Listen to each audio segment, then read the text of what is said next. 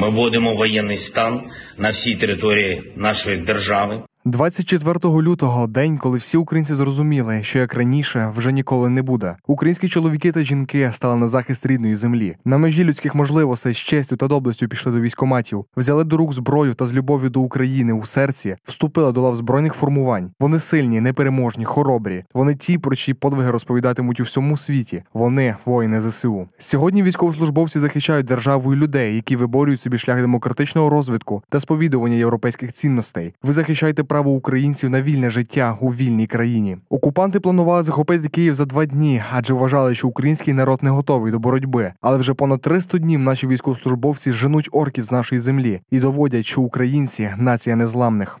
Мирні жителі зупиняють ворожу техніку голими руками, адже неможливо злякати народ, який захищає свій дім.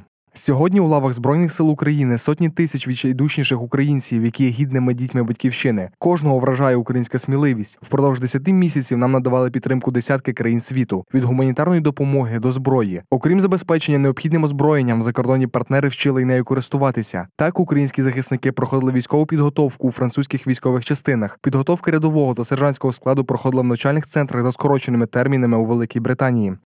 З початку військової агресії Росії ЗСУ знищило більше 100 тисяч окупантів, звільнили вже понад половину захоплених територій України. Звільнено майже 78 тисяч квадратних кілометрів території, а це 1888 населених пунктів, заявив президент України Володимир Зеленський. На жаль, деякі воїни побачать перемогу вже з неба, адже в боротьбі за рідну землю віддали найдорожче власне життя та отримали відзнаку Героя України вже посмертно. Та пам'ять про кожного нашого воїна житиме вічно, і подяка за те, що вони зробили безмежна.